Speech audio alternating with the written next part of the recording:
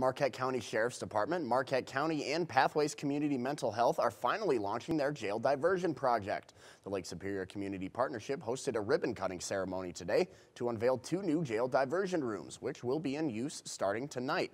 The ceremony also marks the beginning of the crisis intervention team. The goal of that team and the diversion rooms is to avoid putting mentally ill people in jail who may act out due to their undermanaged symptoms.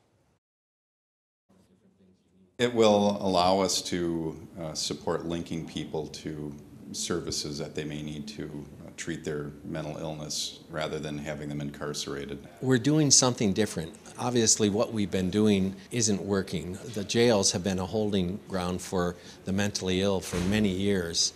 And I believe the state of Michigan uh, and the whole country is starting to see what's happening. The two holding rooms and the staff is provided by a $345,000 grant through the state of Michigan and Pathways. This is the third program of its kind in the state and the first in the UP.